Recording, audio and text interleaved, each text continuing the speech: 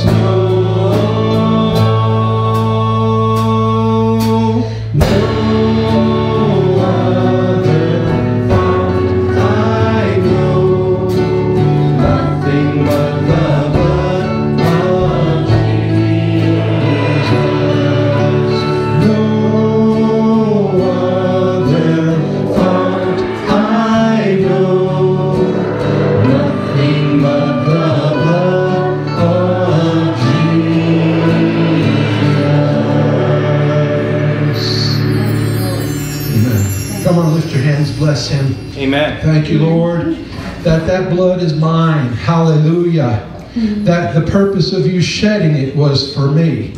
Come on, say it with me. The purpose of you shedding your blood The purpose of you shedding your blood was to set me free, set me free. and I receive it. And I receive It it. belongs to me. It belongs to I thank you for it. I thank you I bless the name of Jesus. I bless the name of Jesus. Hallelujah. Hallelujah. Hallelujah. Hallelujah. God bless you, my brothers and sisters. Amen. We can go our way rejoicing every day in the fact that His blood has washed us free and clean. Thank you, Lord. Amen. That our sins are Thank you. washed away. That the blood of Jesus has not lost any of its power. Amen. Amen. Hallelujah. Thank you, Father. Thank you. You may be seated. God bless you. Thank you, everyone. Hallelujah.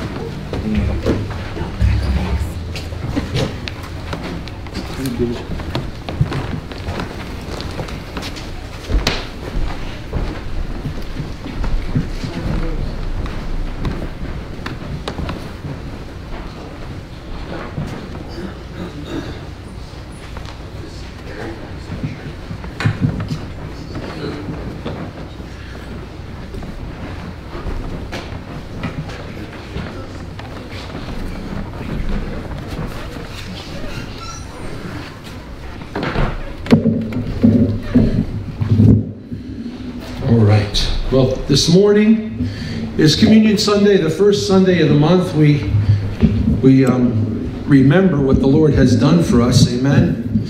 Truthfully, we remember every day. That's what gives our days purpose and meaning, power. Hallelujah. When we walk in the light of His Word, and His Word tells us that the things of God need to be in our constant focus. We need to remember these things. Um, God knows us better than we know ourselves. And uh, he says to us in Psalm 103 Bless the Lord, O my soul, and all that is within me, bless his holy name. Bless the Lord, O my soul, and forget not all his benefits. Who forgiveth all thy iniquities, who healeth all thy diseases, who redeemeth thy life from destruction, who crowneth thee with loving kindness and tender mercies, who satisfies thy mouth with good things, so that thy youth is renewed like the eagles. And, and I mention this, that this is a Psalm of David. And when you read it, you think to yourself, who's he talking to? Bless the Lord, O my soul, and all that is within me. Who's talking? David. Who's he talking to? David. Amen? And there are times that the real you, which is the Spirit, amen, that's aligned with God, that, that wants to do right before God, needs to tell your mind, your soul, your mind, your will, your emotions. How many know that's the roller coaster part of our lives?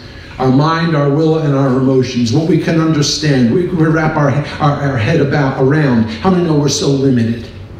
When it talks of spiritual things, our, our minds are just so limited. We can't wrap them around. If I can't see it, I won't believe it. No, Christianity is I will believe it first, and then I'll see it. And that goes that causes our minds to tilt. That's why your mind can't be the dominant part of who you are. And your emotions, forget them, right? And your will set against the plan of God is super destructive in your life. So that's why we've got to let the real you, you you are a spirit, you have a mind, you live in a body. Your body is basically, uh, though it's fearfully and wonderfully made and it's amazing, it's the suit that the real you lives in to negotiate this planet. I've told you before. If you go into space, this is not the only suit. You've got to put another suit on over this because that's hostile to this suit. And if you go under the sea, you've got to put a different suit on. Why? Because that's a hostile environment to this, uh, to this suit. But God has given us this suit, this body, to house our spirit and our soul. Amen? And it is so we can negotiate this planet. We can come into contact with other people. We can use our five senses to, to, to, to you know, touch this, this world. But it never was intended that our bodies would be number one. Must be our spirits. And, and though our minds are fed with knowledge and, and understanding and books and teaching and things, which is great. And our bodies can be exercised and can be, you know, made to look real good. Praise God for those things. But don't forget the real you is a spirit. And the only thing that will build you in your spirit is the Word of God. Because it is the bread of life. Amen? The Word of God. And so give equal time. If you're big in fitness, God bless you. But make sure you give equal time to the Lord Jesus and His Word. Amen? Because ultimately, this is what will cause you to be stable in your life.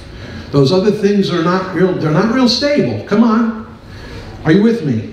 And so here, David is talking to David. And he says, Bless the Lord, O my soul, and all that is within me, bless his holy name. You can easily put your name there, and I would recommend it. Bless the Lord, O my soul, and forget not all his benefits. What is another way of saying forget not? Remember. Remember. Remember. Amen?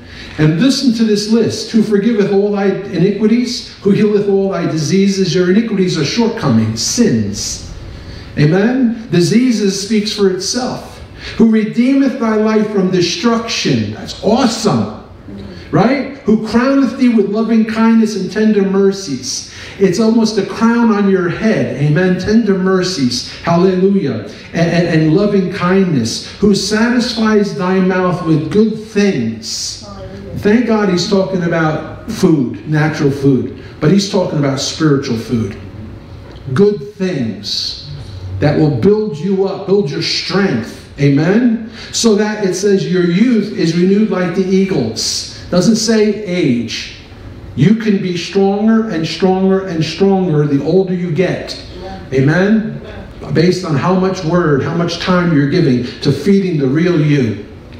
The Bible says in your times of need and your times of, of, of troubles and things like this, out of your belly will flow rivers of living water. Meaning that's when the Word of God will begin to rise up. It'll come to your mind and you begin to speak it out of your mouth with faith. That's going to cause you to, to, to mount up with wings as eagles. That's going to be the stability of your life. Are you with me? Physical exercise is good, it's important, but that's not going to deliver you in times of distress. And knowledge and understanding will only confuse the issue. Because in many cases, book learning and knowledge, apart from the Word of God and God's Word, are, are vanity. It's just it's a waste of time. Amen. That's why I don't read after many other authors, but the author. Hallelujah. Or those that I can trust that are reading after the Word of God. So you with me, my brothers and sisters? Let me say this only because it'll bless you. I love this. Many of the scriptures are written in what I call the present progressive tense, which means they're always true, which means they move with you. So every click of the, of the clock, it's new, it's fresh, it belongs to you. Are you listening? One of them is, you all know it, the Lord is my shepherd, I shall not want. Amen. He leads me today, next second, next he's leading you, he's guiding you, he's restoring your soul every moment of every day. Amen. So you draw strength from the, the knowledge of this word, of the truth. Well, the same thing, Psalm 91 is a psalm of protection. Hallelujah. He says, Because you have set your heart on me, I will do all these things. I'll protect you. I'll watch over you. I'll take care of you. This truth, by spending time in the Word of God, will build stability in your life. And when something opposite comes your direction, the Spirit of God will bring that word back up. You say, No, no, no, that's not the way it is. Let me tell you the way it is. Amen? Amen. Well, here in this one, it's the same thing. It says here, Bless the Lord, O my soul, and all that is within me. Bless his holy name. Shout, jump, sing, rejoice. Amen? Bless the Lord, O my soul, and forget not all his benefits, who forgiveth and continues to forgive all your iniquities. Amen. It travels with you, my brothers and sisters. Amen? It says here, who healeth all thy diseases, ongoing, who's healing. The, the presence of God is healing in your life. Remember what I said, turn the switch on? You need to say it out of your mouth. You say, Lord, I'm so thankful that healing is flowing in my body from the top of my head to the soles of the tip of my toes. Thank you, Lord. Thank you, Lord, that I, I don't want to sin, that, that you have redeemed me from sin. But if I do sin, that you forgive me, and I receive that forgiveness. And I thank you for it in the name of Jesus. Amen. It says here, who, who redeemeth thy life from destruction. Thank you, Lord, that you are you have already and you continue to redeem my life from destruction. Amen? Destruction will not come nigh my dwelling. That's what the Bible says, is a promise. No weapon formed against me will prosper. It's a promise. Amen? Hallelujah. It says here, who crowneth thee with loving kindness and tender mercies. We can talk all day about that one. Just to say thank you. Just to say thank you. Lord, thank you. Blows my mind. That kindness, loving mercy is, is crowns me. Amen? The other scripture, remember, it says, Goodness and mercy shall follow me all the days of my life. Let that come out of your mouth. Lord, I'm so grateful that you cause goodness and mercy to follow me all the days of my life. Sometimes I have felt in the past like I'm being followed by dogs. I'm being followed by, by aggressive, you know, dogs that are, that are just foaming at the mouth. And, and, I, and I don't sleep well at night, and, and I'm always looking over my shoulder. No, no, no, my brothers and sisters. That's what the devil wants you to believe. The truth is, God has said, surely goodness and mercy shall follow you all the days of your life. Amen. Amen. Thank you, Jesus. Amen. So as you go your way, don't be afraid to look over your shoulder because goodness and mercy are following you. And I remember Pastor Clint, who's gone home to be with the Lord now, pastor of Redeeming Love Christian Center that I went to for many years. Amen. They actually sent me out to Rhema when I went. He used to say that he pictures them as massive angelic um, beings. One's name is goodness, the other's name is mercy. And when he turns around, no matter what he faces in his life, he looks and he goes, Come on, goodness. Come on, mercy. And it sets things in proper perspective. Amen? You're not the bottom of the barrel. You're not the defeated ones. Amen? God has called you more than a conqueror. Not only a conqueror, but more than a conqueror. That in Him you always triumph. We always have the victory in Him. Amen? These are things that need to be coming out of our mouth. Amen. Hallelujah. Because that's how faith works. Faith believes the word and then speaks it out of your mouth, regardless of what you see regardless of what you feel, regardless of whoever, with every no disrespect, every every title after their name says to you. If what they say to you doesn't line up with what the Word of God says, they're wrong. Do I have to say that again? Amen. Amen. If what they say over your life is not what the Word of God says over your life, they're wrong. That's right. And now the Bible asks the question come on, whose report you believe? That's where the rubber meets the road, my brothers and sisters. Whose report will you believe? Well, I believe what the doctor says. Uh, you know, don't be a fool. All right? If the doctor's leading you in a good direction, helping you, bringing healing into your life, that's all right. All right? But if the doctor says it's over and there's nothing we can do, say, okay, well, thank you very much for your kindness, but I'm in the hands of the great physician. Amen. And there's still plenty that he can do. Amen? Amen? And the truth of the matter, he's already done it. Amen. Because by his stripes we're healed. He's already completed the work. I don't have to ask him to do something he's already done. Come on. Preaching a whole bunch in one little perspective. I hope you're holding on, catching. Amen? Because it's so true. Praise God forever. Notice what happens, and let me say this so that your youth is continually renewed like an eagle. Amen? Come on. That's how you need to see yourself, my brothers and sisters. Praise God. And, and that's what needs to be coming out of your mouth all the time. Bless the Lord, oh my soul. Lord, thank you. Lord, you still amaze me. Amen. I'm so grateful. I'm so appreciative. I, I couldn't never ever exhaust Thanksgiving because you are amazing. Amen.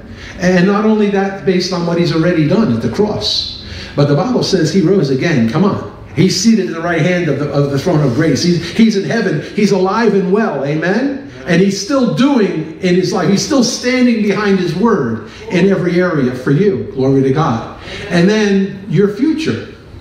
The times you think about your future, amen, don't bother with psychics, don't bother with all that stuff because they don't know. That's right. Amen. If, ever, if they get anything right, it's because of a demonic spirit that knows about it already and tells them. Are you with me? Yeah. It's the truth. The Word of God outlines your destiny, it outlines your future. Amen. You go from glory to glory. The Lord will prosper me. Beloved, I wish above all things that you prosper, that you be in health, even as your soul prospers. Spirit, soul, and, and, and body, God wants you to prosper. Amen. Hallelujah. Hallelujah. And the list goes on and on about what God says about your future. You need to line yourself up with what He says. Amen? And stop lining yourself or wondering about your future. Stop. Amen? I'm helping you more than you realize. Stop wondering about your future. Stop thinking about what's going to happen and what's not going to happen and how's it going to happen and everything else. Stop. This mind is not in control. Amen? This body and even its urges, I understand, amen, is not in control.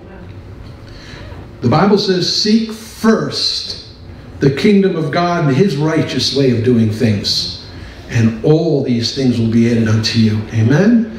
God will provide whatever your heart's desire is when you're doing it right, when you're doing it his way. Amen? Hallelujah. Amen. Hallelujah. I, I, tell couples all the time, I know I'm preaching this way, but it's all right. I tell young people all the time if you're believing God for a godly mate, then you make a priority to be godly. Because when they come into your life and you don't match God's criteria, He'll find somebody else. Are you listening? Amen. You want a good man or you want a good woman? You be a good man or a good woman. So when they come, you're a gift to them. Amen. They're blessed. Are you listening? Amen? Hallelujah. When Miss Karen and I, how long we married, my love? I'm sorry. How long? 31. 31 years. By looking at her, you'd never believe it. She don't even look 31. God bless. The truth. Amen? I didn't get married till I was 33, I believe. Right? 32. She's correcting me. It's all right. But I know I said this to her at my at our wedding and when we stood there. We were both virgins, by the way. Yeah. Amen? You know, why I was believing God for a godly wife. A, a, woman who, you know, I could trust. That I never have to wonder if she leaves me, if she's, if she's going to betray me, stab me in the back. Don't happen. Amen? Amen? I don't lose sleep over it. And she does the same thing. It means a lot. Hallelujah. And I'm not saying that's the end all, because if you've already gone, how many of God washes away all our iniquities? Amen. But when I looked at her, she came up that that uh, that aisle with that beautiful dress on, beaming, face smiling. You know, I said to her, "Honey, you're worth the wait." And I say that to you, Amen. Who God has prepared for you is worth the wait. Right. So you be right. You do right, because when they come, gonna blow your mind. Amen. Come on. As I said, don't be ashamed if you say, "Well, no, Pastor Nick, those days are long gone." No, no, no. The Lord can restore. He says He can restore what the cankerworm has devoured. He can restore. God can restore purity. He can restore, you know, uh, innocence. But you're going to have to do the work. You're going to have to get your mind renewed to the Word of God. You're going to have to start saying yes to what God says yes to and no to the things that God says no to. Amen? Come on. Pastor's preaching better than you know, my brothers and sisters. Hallelujah and I go on, but I won't. I'm gonna I'm gonna break. But I want you to I want you to understand, Amen. That a big key to it is don't forget, because we are prone to forget. We are prone to forget. Now, except for maybe some rare few of you, come on, what'd you have for dinner two weeks ago Friday? You know, how's this? What'd you have for dinner three days ago? I know, I know. I'm the same way. I have no idea. You know? What'd you have last night? You might remember, hopefully. Yeah, right? So we're prone to forget.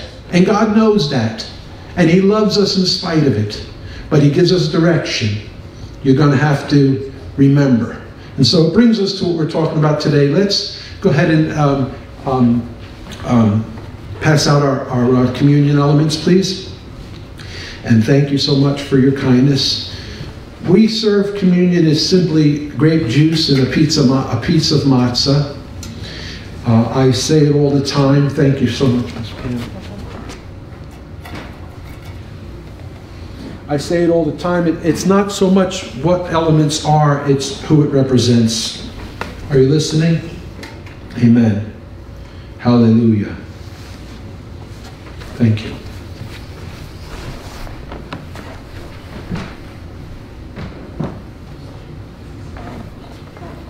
So please take that as they come to you.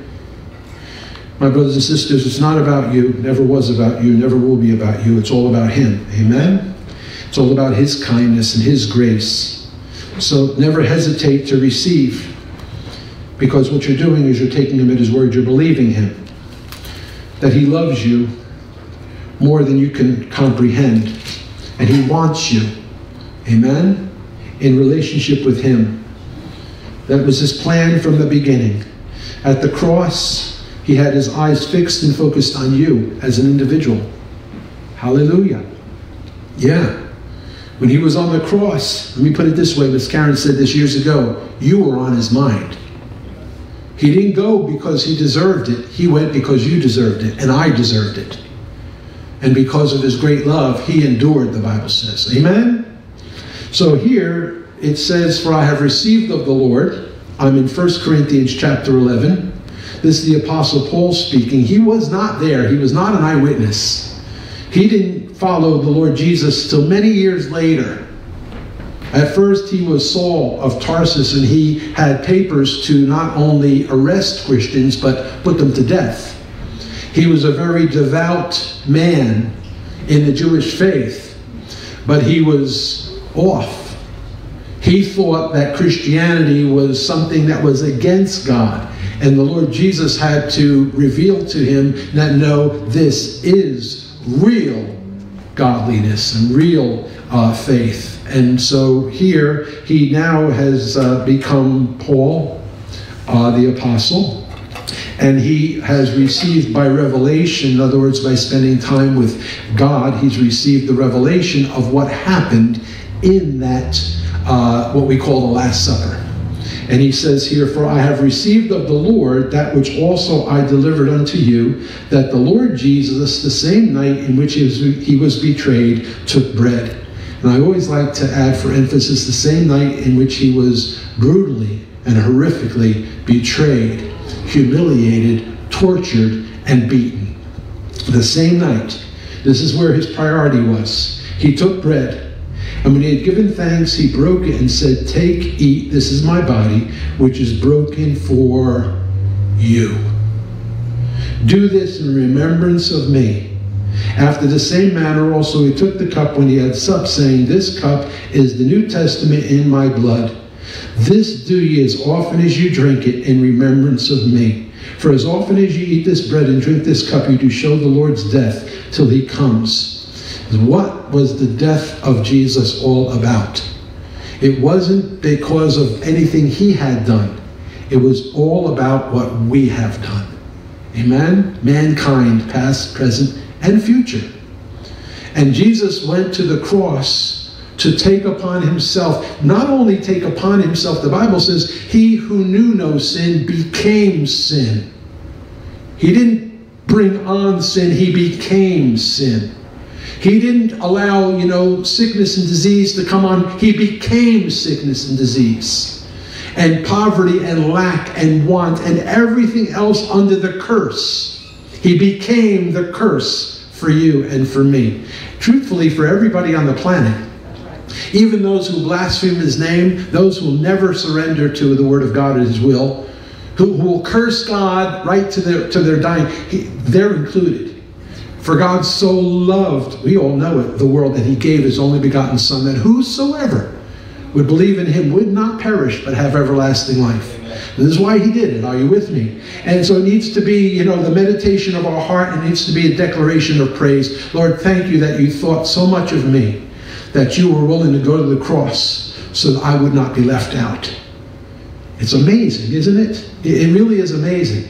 And this, the Word of God, you know, whether you realize it or not, I'm feeding your spirit this morning.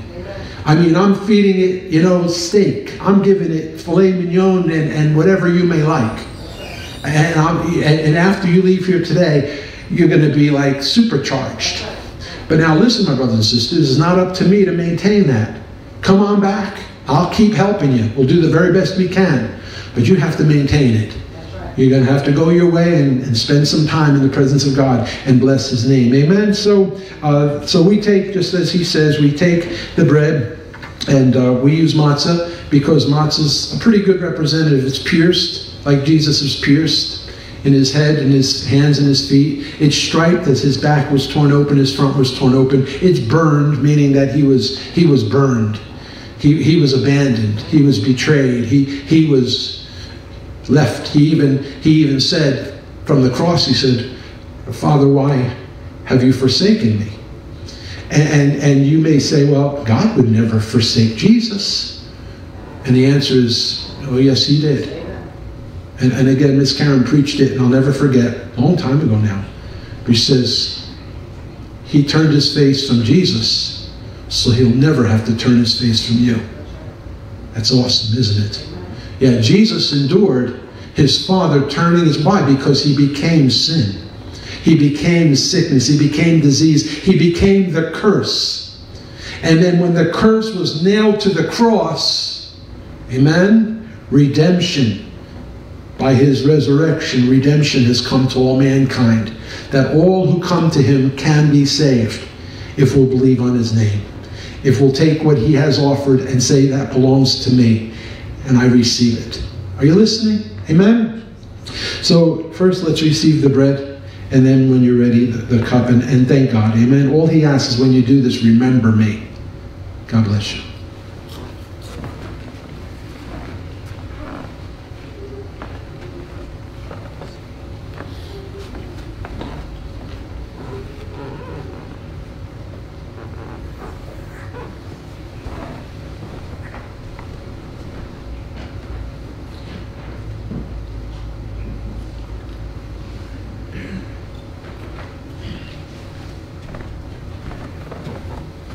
That's good, isn't it? Amen. Well, it's time for the offering. The offering envelopes in the aisles. If you're writing a check, it's Faith with Love Fellowship. And uh, we appreciate your faithfulness. God appreciates your faithfulness. Amen. Hallelujah. When you're ready, we're going to make our declaration of faith, which is our, our habit. Amen. I know there's good habits and bad habits. This is a good one. Hallelujah. Mm. I think I'll keep this one. Other habits, let them go. Come on.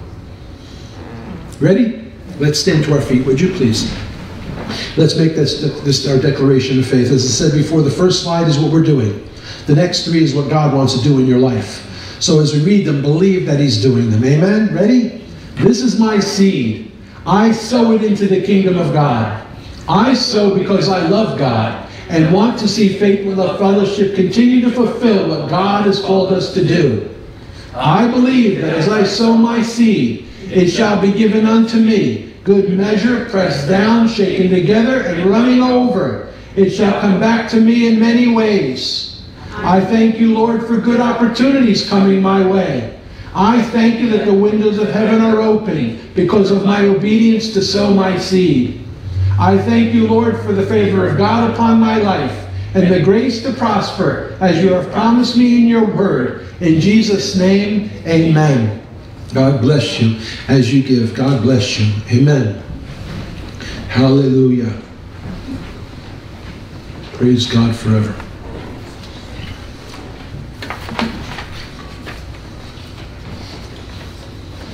Hallelujah. Thank you, sir. Yep. Yep. Would you stand one more time, please? Lift one hand to heaven, one hand towards this offering. Father, we thank you that you give seed to the sower, that everything good starts with you. Life was your idea. Breath, choosing us to be alive, all your idea. Giving us all that pertains to life and godliness, all your idea giving us the gifts, talents, and abilities that we all have that are so varied and distinct and different. It was all because of your leading, what you did. And we just want you to know we appreciate it. We thank you. And so we bring our tithes, our offerings before you so that your will might be done on this earth as it is in heaven. And that is to bring the gospel to the earth, to preach the gospel to every creature. We thank you for our part and your faithfulness to watch over your word, to provide, and to perform miracles, signs, and wonders, that people would get saved, healed, delivered, set free, and made to be disciples to go out into the world and bring the same gospel to the people in the world they share this planet with. We praise you, we bless you, we thank you for it in Jesus' name. Amen. God bless you. Hallelujah. Hallelujah. All right. God bless you, Miss Karen, as you go. We um, hopefully you were able to receive a bulletin. We have a few things that are on our bulletin I want to bring to your remembrance before we get into the Word. God bless you. Um, Numbers chapter 13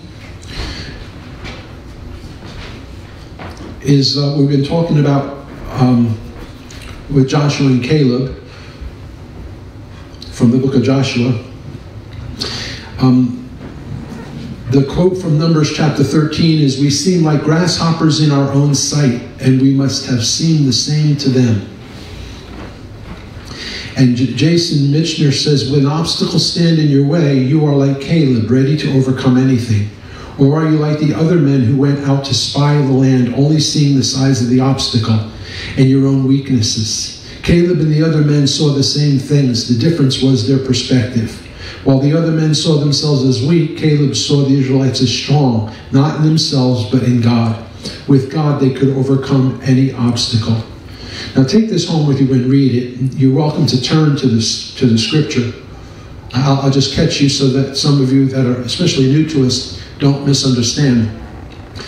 Nick preached a great message. You can go back on uh, Reverend Nicholas Fontana Jr. Uh, preached a great message. You can go back and watch on YouTube. You can go back on Facebook. You can watch um, previous services. We always post them, and, and then they are uh, saved. You can go back and watch them.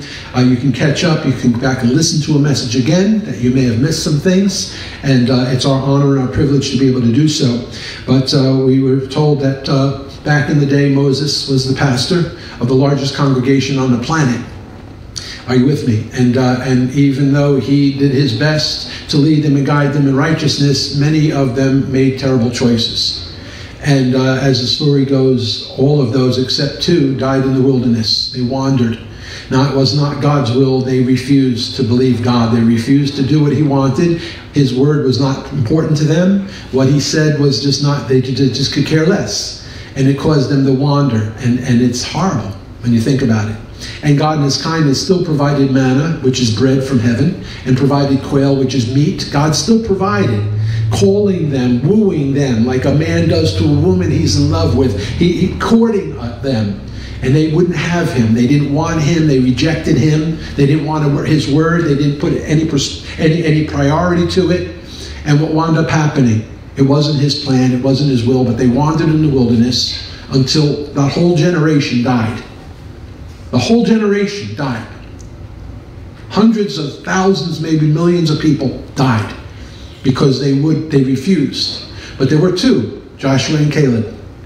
And this refers to, you know, when they when they came to the land, God told them to send spies. And God expected them to come back and say what God was saying about the situation. Yet they came back with what they saw. And it says here, we seem like grasshoppers in our own sight, and we must have seen the same to them. And God didn't say that. God didn't say, go in and tell me how you see with your natural eyes. He says, you go in and you tell me what you see with your spiritual eyes. Because I've already given you the land. It belongs to you. And those spies came back and not with a not with a, an alternative report, not with a, a uh, you know a, uh, a, a bad report. The Bible calls it an evil report. Why? Because they were saying opposite of what God had said. God expected them to go in, take this land now. And they said no. So they wandered. And I told you, I only gave you illustrations, not my notes, but it's okay. You know, they gave the illustration. This is what happened. They looked at one another and they said, Well, what do you think we should do? Let, let's take a vote. Let's make a committee. What do you think we should do? I think we should go this way. Okay, we'll go this way. Oh, no, no, well, I think we should go, okay, we'll go this way. How about now? We'll go this way. So they wandered. You see how it happens? When all your input is horizontal. If they would have turned to God and said, Father, we repent, we turn to you, which way do we go? God would have said, that way, straight to the promised land, flowing with milk and honey. Scientists say they could have probably done it in two to three weeks. it almost is beyond comprehension how that many people can wander for 40 years. But that's what happens. And come on, don't say, I always tell people, don't point a finger at anybody else. Got three coming right back at you. So don't ever say, well, you know, if I was there, I would have done different. Well, do different now. Amen? Pastor preaches hard, I do. But I don't make apologies. Amen? The truth will make you free. Hallelujah. So I'm going to preach the truth. So, notice the second quote. When obstacles stand in your way, are you like Caleb, ready to overcome anything? Or are you like the other men who went out to spy the land, only seeing the size of the obstacle and your own weaknesses? Caleb and the other men saw the same things. The difference was their perspective. While the other men saw themselves as weak, Caleb saw the Israelites as strong. Listen, not in themselves, but in God. With God, they could overcome any obstacle. Amen? So take it with you, let it bless you. Our services, as you see, you're here today for our main worship service on Wednesday night. Excuse me, normally we are here, we do what we call the hour of power. We are in the book of James, but we're postponing it this week or suspending it this week because our own uh, Reverend Nick Fontana is going to be preaching at St. Francis Church in Vernon. Uh, which is going to be the last Lenten service before Easter. And then uh, we're doing one more Good Friday at 12 o'clock at the Glenwood Baptist Church. And then uh, don't miss our, uh, because of COVID, we've not been able to have our Easter sunrise, but this year we are having our Easter sunrise service. So 6.30 a.m. out at the gazebo at Maple Grange Park. Come, bring your families, come in your pajamas if you want, doesn't make a difference. You know, I remember when we were doing it. Remember at the flats, the, the, some of the kids, the Luca kids, they came not only in their in their pajamas but in their sleeping bags. And, you know, and, and, it was awesome, right? Remember those? And I don't care. Come without makeup, you ladies. You know, do us all a favor. Put a little. No, I'm kidding, teasing you. You know, but uh, you with me? But um, anyway, and then Miss Karen will have coffee and orange juice, bagels, and, and um, donuts for you. We're having egg hunt for the kids. So uh, if you'd like to participate with that too, we are still receiving candy small enough to go in eggs, eggs, whatever you want to do uh, would be a great blessing. We want to um, be a blessing to the children. So don't forget, Wednesday at 7 o'clock, uh, Nick will be preaching at St. Francis Church. Refreshments will follow. If you'd like to come out and support him and uh, be a blessing, that you're welcome to. All right, uh, let's continue with our, with our prayer. Uh, on the right side, we a number of weeks ago we began praying for the people in the 1040 window. The 1040 window is a, is a band across uh, Europe, which is uh, mostly people who have never heard the gospel. Either they've never heard uh, because they're resistant against it. Some of those countries, it, it's, it's illegal to preach the gospel. But God loves those people. And He wants those people to hear the gospel and be saved. And so it falls on the church to pray. And so we've been praying for a number of weeks for the different uh, countries in that 1040 window. Today, it's Japan. So would you pray with me as we uh, take a look at it? A prayer for Japan. Father, we lift up Japan before you now, and we ask that you open the eyes of the Japanese people to see that the gospel is the good news for everyone, and not just the Western religion. We lift up the youth in Japan and ask that you would pour out your spirit on them and help them to find peace in you. Japan has 120 different denominations, so we ask, Holy Spirit, that you would unite them all under the banner of your love and help them to walk in unity as a solid witness to the lost and dying throughout the land. 97.9 of the population has been unreached with the gospel. 97.9. Lord, we ask that you reach them we ask that you send your laborers to bring in the harvest to your kingdom for your glory. In Jesus' name, amen. Hallelujah. Hallelujah. We also began praying for our, our leaders. Amen. For our, for our government, for our military. None of us like the price of gas. Some of us have different opinions as far as the administration, the governor what's going on in Ukraine and Russia. We, you know, and there are times where we can feel as though, what can we do? Our hands are tied. There's nothing I can do. That's not true, my brothers and sisters. Amen? You can pray. And the Bible says the effectual, continued, earnest, heartfelt prayers of righteous people make tremendous power available, dynamic in its working. So this is what God has called the church to do. Amen? We can go, and some are called to go. And we can give, and all are called to give. We can pray, and all are called to pray. Hallelujah. And so we began writing these actual prayers down in Japan. So was that prayer we just prayed enough? Do you think we, we made a, a, a tremendous impact?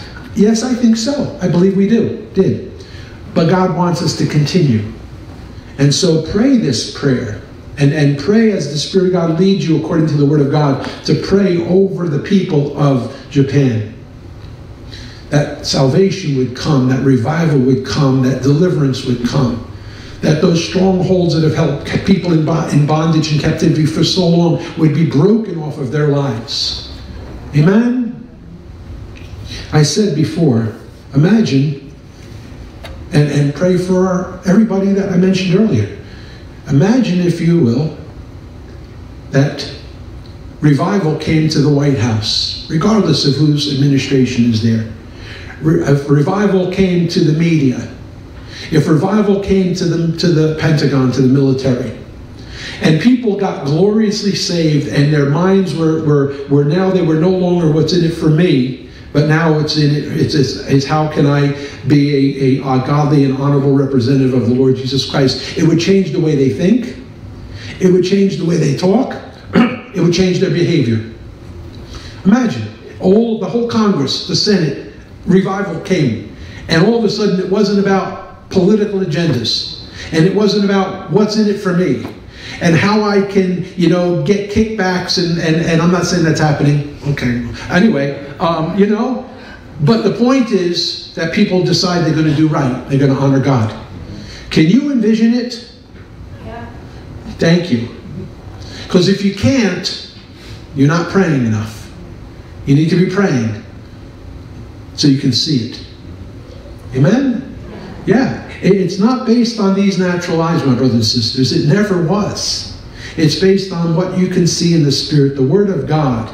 Hallelujah. God saw the darkness, He saw the emptiness of what the world had become. And He said, Light be, because with His spiritual eyes He saw light. So He said, Light be. And, and just follow. That's how creation manifested, how it's still manifesting. Hallelujah. I believe light, the speed of light is 186,000 minutes a sec, uh, miles per second. There's there's some other not only 186, 186, four point some whatever miles per second. Amen. And and scientists who don't know everything, thank God for scientists. I appreciate that, but they certainly don't know everything. Amen. Even scientists will concur that the universe is still expanding. Yeah. Because God said, light be, and He never stopped. So the universe is still expanding at the speed of light. Don't you think that's a little excess, Pastor Nick? Welcome to God. Amen. Amen? He does exceeding abundantly above what we can ask or think. And He's welcomed you into that lifestyle, into that attitude. There's nothing too hard for you. Why? Because greater is He who's in you than He who's in the world. Come on. Oh, Pastor Nick, hold on. Keep on going. But, you know, trying to get to, to the message, but I'm almost out of time already. Let me say this. I've got something bubbling in my spirit. I believe that's for Easter Sunday. But um, last time we talked about tools. Remember we were talking about tools? Different tools for different jobs. And, uh, and God has given us a toolbox. And this is the toolbox. And not everything can be accomplished with a hammer. There are different screwdrivers, Anybody know there are different screwdrivers? Uh, some of them are, are standard, which is flat. Some of them are Phillips, which is cross-shaped. There are bigger ones. There are smaller ones. If you're working on a you know massive truck, you don't need those little ones for fixing eyeglasses. You need some big, heavy ones. Wrenches come in every assortment, size and shape. They, they come in every they come in every style. How many know you can go down to the dollar store and buy a wrench for a dollar twenty-five now? The dollar dollar twenty-five store it's called now. You know, you can buy a wrench there. And, and the first time you use it on something that really needs to be torqued, it's probably going to break because it's only worth a dollar. How many know you get what you pay for? It's true. But if you get something like, you know, Sears used to be, if it breaks, lifetime guarantee, you go and replace it. Well, there's some other tools that are even stronger and they're made, created for that very purpose. And they're varied. And, and there's so many of them, it's beyond our, you know, there are wrenches, there are screwdrivers, there are pliers, there are Allen wrenches, there are, and now we're talking saws of any shape and style, drills of every shape and style, drill bits from every shape and style, made of titanium. Made, come on, the list, tools are amazing, aren't they? And, and, it, and God, and it's basically a, a, a tool for every job. And wisdom is to know what tool to use for whatever job. Correct? If you've got a leak in your kitchen sink, don't use the hammer. Right? You're, going to have to find somebody, they're going to come with wrenches. And they're going to work on it with wrenches and, until they get it figured out and get it right. Come on. So I shared with you last week that this book, this Bible, is your toolbox. And just as you were going to say, I want to become an apprentice fixing cars, they're not going to just say to you, okay, you're on your own, go get tools and figure it out. No. They're going to provide you tools and they're going to show you one by one how these tools work on that car. And the same thing with anything else. Ladies who are beauticians, for instance, I mean, there's not just one scissor, there's different things, trimmers and clippers and, and all kinds of different tools. And in the hands of somebody who knows how that tool works, it's amazing. Amen? Same thing as anything else. There, somebody who knows how that tool works can make that thing work. I've seen people who use woodworking tools to make amazing things, beautiful things, and sanders and polishers. It's pretty spectacular. Now, I, I watched this. There's one thing I saw, I think, on YouTube or Facebook, uh, of they made these two plaques of wood, and then they put these, you know, Star Wars figurines, ships and all in the middle, and they poured in epoxy and everything, lacquered it, and when it was done, it looked like this It was a moving river. It's basically a coffee table. That's, that's some coffee table. But you got to know what you're doing to get that and to sand it and to get it just right. I happen to like car shows. I like to watch car shows. And when they bring out, you know, bring out that beautiful whatever that car is, you're looking at, at lots of work. Lots of behind the scenes work to get that car to look the way it looks. How many know God has called us to the greatest craft of all? Is bringing salvation to the people in the planet. Amen? And He's given us tools. Every tool, we need to know what the tools are, and then we need to become masters at using those tools.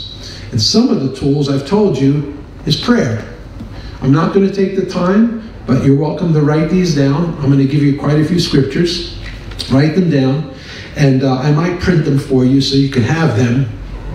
But there are different tools for different jobs. When I say pray, that's that's just that's a general call because there are many types of prayer. In other words, there are different tools in the toolbox. You got to know what to use when, and you need to learn how to use it. Hallelujah. So there are nine that I, I mean, 11 that I found, and I'm sure there's more. Number one, the prayer of faith. Prayer of faith. That's number one. When your heart is fixed, when you find the Word of God and the Word of God makes you a promise, and you believe it and you speak it out of your mouth by faith. Regardless of what you hear, regardless of what you see, you speak it out by faith. By faith in the name of Jesus, and you speak. Joshua's heart was fixed. Amen. I don't have time to give all of them. I just might mention them. Maybe we'll go back after Easter and come, continue on because it's important and I believe God wants me to share it with you. But it has to be a Sunday where I don't go lots of different directions. Amen. Prayer of faith is number one. Number two is a prayer of agreement. Prayer of agreement. The number one person that, that we can agree with is God. So we don't know what to do. When we just can't see any way out, we go to the Word of God and we find out what God says about the situation. Amen? I'm having a, I'm not having a problem, but I'm, I'm having a problem with my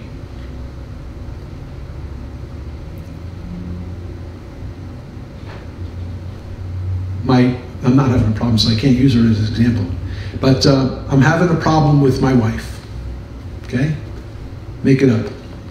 I'm not, thank God. But I'm having a problem, and I'm starting to think to myself, you know, if she would just change, if she would just do what I say, the list goes on and on. I've tried that failed miserably in, in reality. So, anyway, notice. So you get to the point where you're just lost. You don't know what to do. Who can figure out the ways of a woman? You know, the whole, all that other stuff. But then you go to the Word of God, and the Word of God says, Love husbands, love your wives. And you go, okay, wait a minute. Uh, it doesn't say husbands fix your wife. It doesn't say husbands uh, uh, blame your wife. It doesn't say husbands, um, your wife is your problem. It says husbands, love your wives. Amen? Like Jesus loves the church. That's a sacrificial love. That's a love that supports and undergirds.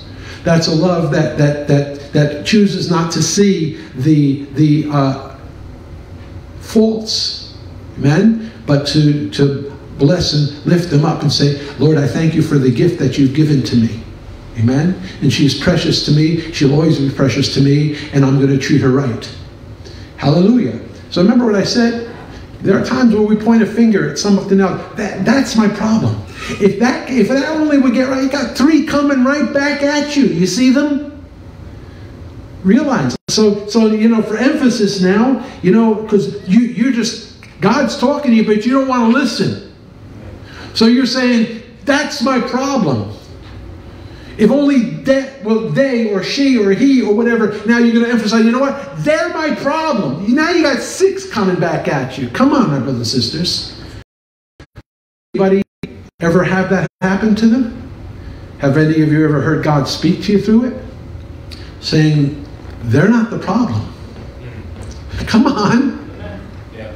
They're not the problem. You do what the Bible says. And God will get involved in your situation. As long as you refuse His wisdom, then you're on your own. So it's almost like go fix that car on your own, go figure it out. And God is saying, no, this is the owner's manual. So come and study it. And you'll cause your way to be prosperous. You'll have good success. You'll be blessed in all of your deeds. Amen. So, so do what the word says. It's a great place to build your life. Amen. Story after story, I don't have time, but the Old Testament stories, why are they there? As examples to us. When the people did not seek God, they were consumed, they were easily defeated, they were whining and moaning, complaining and griping and babies, sucking their thumbs. But when they were seeking God and doing what was right in His sight, they were unconquerable. Amen. They were strong in the Lord. They did exploits. They took down cities. Hallelujah. They took the heads off of giants. God forever. Amen. It all depends. How many know it's not different people? Same people. It all depends on perspective. Amen. Hallelujah. And so the prayer of agreement, get yourself into agreement with God. How many know He's not going to change? So you can beg and plead and cry and whine and all the rest of it. Lord, you know, just just can't you just do it my way? Forget that. Amen? And you can do that all you want. You can spend years doing that. And he's going to, you know, uh, be patient with you and he's going to speak to you. But he's not a about who's king, who's God. Amen? So, so, amen. Yeah. I told you I have to share with you because I want to help you. When we first started taking over this building, I was sitting right here. The church was empty. I was sitting right there. I was praying. And I was saying to the Lord, Lord, how's this going to happen? You know, He had told me to receive the church, and I received it. But you know, my mind kicked in. I'm starting to try to figure out how it's going to happen. And the devil starts to accommodate you, you know, start thinking about how this is not going to work and how that's not going to, and how this, how I can't see it, I can't understand, I can't. But, but I was praying. I was really praying. Are you with me? And, and I tell you, God is my witness. The Lord appeared to me. I, I was praying. You see, I'm a big guy. I was praying. My knees were a little bit parted. I was just sitting. And, and um, the Lord Jesus appeared to me. He did. He stood right in the place between where my legs were a little open up, stood right there. He put his face in my face, put his finger in my face, and he said, You know what to do, do it. You know what not to do, don't do it. Over. I was like, wow. Basically slapped it. You know, jerked, this, jerked me out of my stupor. How am I, I got to figure out how it's going to, how's it, I never was asked to figure out how it's going to happen. I never was trying to figure it out in my head. I don't care. I can't see it. I, dear God, I've come a long way since that then. Amen? I've learned that there are certain words that you never say to God. I can't. It's a curse word to him. It is. Oh, I can't. I can't. No, he says you can do all things through Christ who strengthens you. So stop it. I don't want to hear it again. I told you before, there are certain four letter words I don't think you want in your home. If people are going to throw them around, you're going to say, Excuse me, we don't use that kind of language around here. Right? Well, in the presence of God, you don't use words like can't or won't. Right? And we, we never almost, you know, catch ourselves before you say it. Don't, don't say it. Don't say it. God says, I can do all things through Christ who strengthens me. And all of a sudden, my mind starts to figure out how. And we put in that horrible word that word that brings such despair. Yeah, but. Yeah, but. In other words, everything you say means nothing to me. Because what I see and how I feel and what so and so says, it's, it's, that's it. That's the way it is. So catch yourself. I have learned to catch myself. I don't say those words anymore. Because as far as God's concerned, that is filthy. That's filthy. Amen? And we'll be held accountable for every word that comes out of our mouths. So get out of the habit of saying, I can't, I won't, and yeah, but. Say yes, amen, hallelujah. If God is for me, who can be against me? The answer is nobody. Ain't nobody. No way, no how. Amen? Amen. I am more than a conqueror through him who loved me and gave himself for me. There's no glory to God. Amen. Amen. And if you struggle with it, if the thought comes, yeah, but, or can't, or won't, you just need to go over it again. Just stay there. Just build, you know, just camp there. I can do all things through Christ who strengthens me. I can do all things through Christ who strengthens. me. There's nothing I can't do through Christ who strengthens me. Amen. There's a lot I can't do naturally. But I can do all things through Christ who strengthens me. Why? Because He's the master in every field, in every area. Yeah, I, can pass that physics test. Why? Because I know the one who created physics, who's a master at it. I and the list goes on in every area of life. Amen. You and I have been invited into such an amazing relationship. Praise God forever. Amen. I'm just going to mention them. We'll stop this morning, but I'll mention them and we'll continue. I'll give you, I'm going to print them out. I'll write the scriptures so you have them. You can research them by yourself and, and be a blessing. So, number one, the prayer of faith. Number two, prayer of agreement. Number three, a prayer to bind and loose. It falls into the, the prayer of, you know, of the authority of the believer. Prayer of commitment, which is a very personal prayer. Prayer of dedication and consecration. Hallelujah, which we need to do all the time. Amen. We are not our own, we've been bought with a price.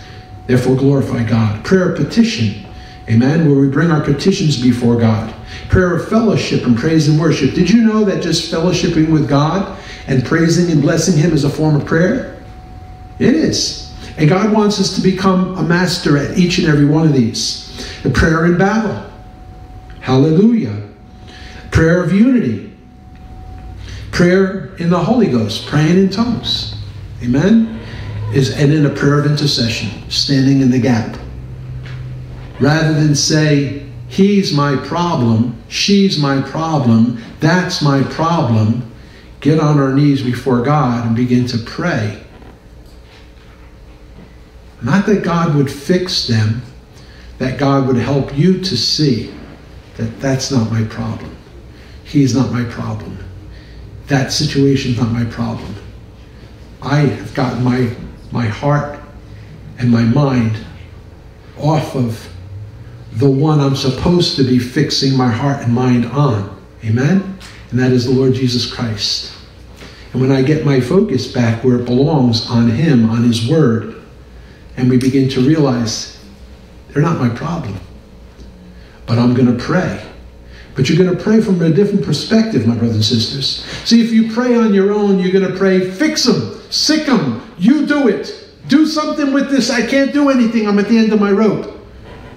But if you pray from God's point of view that, that He loves them, that He has a plan for their life, to pray and really truly intercede. Amen? Amen. Father, I bring the, my, my this person before you humbly, and I thank you that you're their God, that you're their Savior, would help them to grow in your grace, to grow however the Spirit of God leads you. You with me, my brothers and sisters? Amen. Hallelujah. So we'll break for this morning because my time has gotten away from me. I've given you so much. I hopefully you uh, you take good notes, um, but also go back and listen again if you would like, and um, I'm sure you'll get all kinds of things. You'll you'll you'll be listening. You'll saying, "I don't remember him saying that." Where was I when he said that? Oh, that's good. That that answers the question I've been asking for years. Yeah. How many know? You know, who's the other guy that was a, a contemporary of, of, him? That real big, big guy that was big on home runs. I can't remember. But uh, there are so many of them. We don't live in those days. There are some now. Derek Jeter. You know, you know how valuable a Derek Jeter baseball would be right now. It'd be like crazy to hold on to it. Well, the point is, if you go to a baseball game and you have you really follow baseball and you really want one of them baseballs, doesn't matter who that who your hero is, you know, Mickey Mantle dates me anyway. You know, Don help with it too much anymore. But anyway, the truth of the matter is, you go to that game, you don't go empty-handed. You bring a glove, right? You put yourself in a place where foul balls go or where home runs land. You normally don't put yourself behind, you know, the catcher and that big rate there. No, you go find yourself a place. And when every time the ball is hit, you're ready. Come on. And when you see that ball coming in your direction, anywhere near in your vicinity, you get up on top of chairs that nobody else is sitting in, kindly, right? And you go after that ball. And when that ball comes, you jump. It's all about catching that ball. And when you come down with that ball and you look at it, and you know, that's that what makes it all worthwhile. Amen? Now we'll do that over a baseball or whatever it is you like. My aunt, who's gone home to heaven, worked for CBS, I believe, or NBC back in the day when the Beatles first came to the United States. She was at the concerts, the Beatle concerts, pretty much all of them in the United States because she worked for the company. One day, John Lennon was chewing a piece of gum. He spit the piece of gum out as that piece of gum. Truly.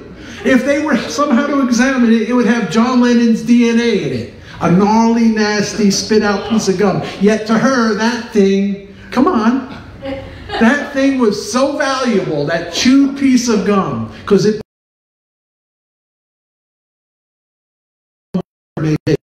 But I want you to know how would you treat that piece of gum I'm not talking about, but that baseball.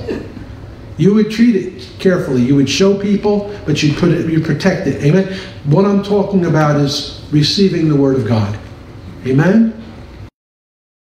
God, if you're not careful, will blow right by you. But if you make up your mind, I'm going to catch it. I'm going to get a hold of what God's saying to me. I'm going to consider it valuable. I'm going to do whatever it takes to get what God's trying to tell me. It's, it changes everything. How many know it's more precious than, than a baseball signed by all of the greats? It's more valuable than a, than a spit out piece of gum from John Lennon, right? Or, or George Harrison, a piece of, what's his name, uh, Paul McCartney, a lock of his hair. Man, come on. There was, do you remember when the Beatles first came? People were insane. If they could strip their clothes off just to have a piece of piece of them, are you listening? The, the insanity of it all. My goodness, imagine if if they treated the gospel with with that so, same kind of, uh, you know, the woman. There's a woman with issue of blood who did. She got on her hands and knees and she went. She went after it. This is the. There's nothing more important. There's nothing more important. I don't deserve it. I can't earn it. She got close. People around her wouldn't let her pass. She got on the floor. She crawled. When she couldn't crawl, she squirmed. If I could just touch the hem of his garment, that was the most important thing there. What happened when she did? Healing. She came to experience complete and absolute healing and restoration. How valuable is Jesus to you? Come on. Come on, I got to break. Father, we love you so much. We thank you for the truth of your word. We love you so much. We appreciate you. We thank you for your long suffering and your kindness towards us. We, we greatly appreciate your patience with us. And none of us are perfect, but we have set our hearts to go to go after it, to do our very best, to seek you, to bring honor and glory to your name, and to be obedient sons and daughters, so that we might uh, be co-laborers together with you in this work of, of bringing the glorious gospel to the people that we share this planet with before uh, it's too late, before they close their eyes in death. Uh, it, God forbid any people in our sphere of influence would die and go to hell. Uh, Lord, we pray that uh, we would be moved this morning with compassion and that the call to, to pray for even those who have hurt us would rise up so big in us that it would become priority number one that they get saved and that they, uh, that they come to the knowledge of the truth of the Lord Jesus Christ. As always, Father, we thank you, praise you for this and every opportunity, your blessing in the name of Jesus. Would you just stretch your hand out towards me this morning? Father, I pray blessing upon my brothers and sisters that you have, by your stripes, healed every sickness and every disease. And Father, I thank you in Jesus' name that we no longer say, my sickness, my this, my that, but we say, by the stripes of Jesus, I am healed. Hallelujah. I do not take ownership of sickness. I do not take ownership of disease. I do not take ownership of lack. I take ownership of the Word of God. And the Word of God says, I'm whole, I'm healed, I'm free. And I bless you, Father, and I thank you. That's what I'm going to say. That's what I'm going to believe. That's what I'm going to expect. And I thank you for watching over your word, performing it in my life. In Jesus' name. As always, Father, traveling mercies as we return to our homes. May our homes be blessed. May today be a great blessing. And we give you glory and honor and praise in Jesus' name. Amen. God bless you. Thank you so much for coming. Hallelujah. We'll see you next Sunday right here at 10 o'clock. If you'd like to come on Wednesday, we appreciate it. Online, thank you so much for watching. God bless you. See you next time.